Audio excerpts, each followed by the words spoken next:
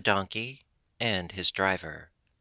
A donkey being driven along the high road suddenly started off and bolted to the brink of a deep precipice. When he was in the act of throwing himself over, his owner, seizing him by the tail, endeavored to pull him back. The donkey persisted in his effort.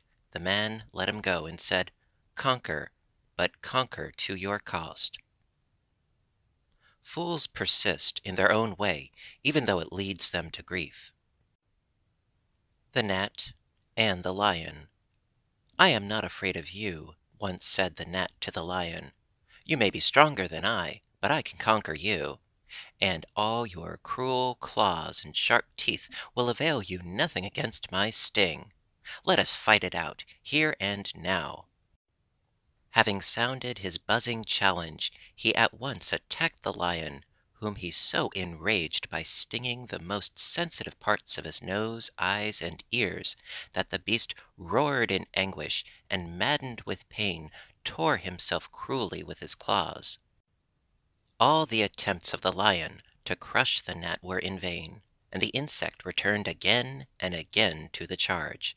At last the poor beast lay exhausted and bleeding upon the ground.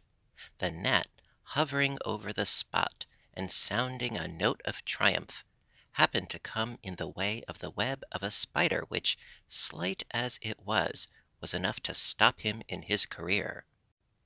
His efforts to escape only fixed him more firmly in the toils, and he who had vanquished the lion became the prey of the spider. Victory is not always lasting.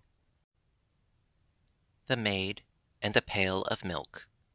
A milkmaid, having been a good girl for a long time and careful in her work, was given a pail of new milk for herself.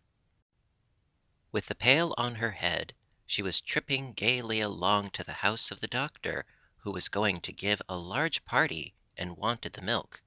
For this milk, thought she as she went, I shall get enough money to buy twenty of the eggs laid by our neighbor's fine fowls.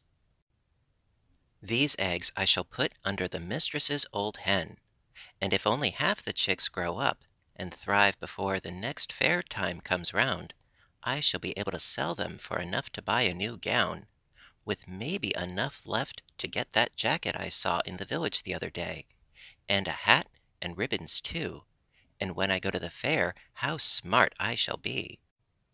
All the young fellows will notice me, but when they come around, I shall just toss my head, and here the maid gave her head the toss she was thinking about.